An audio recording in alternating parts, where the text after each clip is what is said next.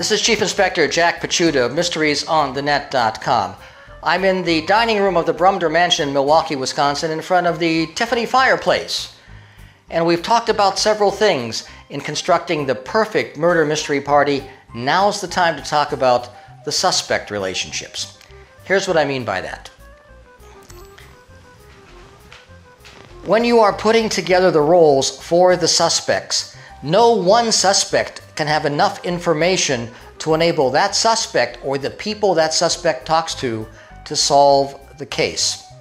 What you have to do is piecemeal the information. It's like a big pie, and you cut that pie into pieces, and each of the suspects gets a piece of the pie. Because part of the gamesmanship of a good murder mystery party is to put those pieces back together to put it into one big whole, one big pie. So no suspect, not even one of your suspects, can have enough information on their own to solve the case. And the second thing is this, and it's based upon real life. The suspects have various degrees of knowledge about each other. Think about your own personal life. There are some people that you know extremely well. You know a lot about them. They may be your best friends. They may be people that you see all the time. You know a lot about them. Then you have acquaintances, people that you see, oh, infrequently or hardly ever at all, but you know something about them, and it's very possible that they are a minor celebrity, somebody in the community that people know about. So you know a little bit about those people. And there are some people that you know nothing about, or maybe just a tiny fraction about. Maybe it's what you read in the newspaper. That's life. So, what you do is you develop a scenario, you develop a routine when you are putting together your, your mystery, whereby each suspect knows a lot about certain people, knows a little about some other people, and knows maybe nothing at all about certain of the other suspects. And then, something very important make several surprise relationships.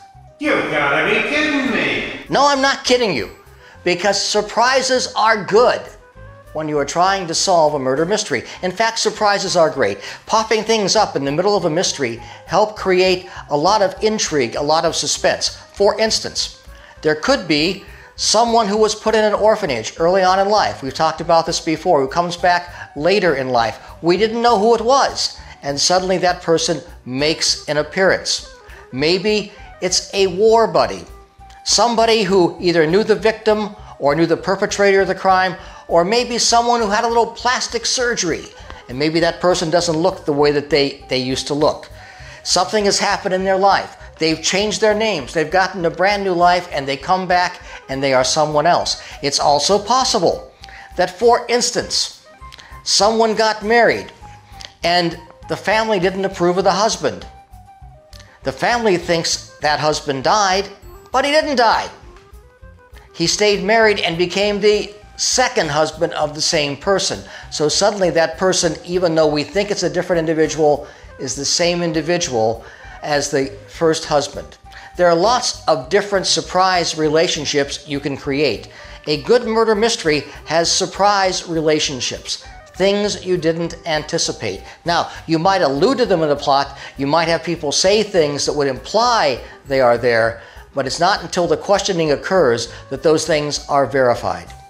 Now, and this is an important point, some people think that when you are writing a murder mystery party, one of the first things you identify is the killer, the perpetrator of the crime. Not so. It's about at this point that I really figure out who did it. And even then, I'm not totally sure because it's only at this point where I have all the relationships down and I have a lot of the dynamics in place that I start to realize who the best killer would be. So, right about now is when you want to start getting an idea of who makes the most sense as the perpetrator of the crime. And even then, it could change because right until the very end, you could change who did it. So, those are the four key points about the suspect relationships. And those things, if you tie them all together, create the intrigue, the mystery, and all of that mayhem that you're looking for in a good murder mystery. In the next segment, we'll continue.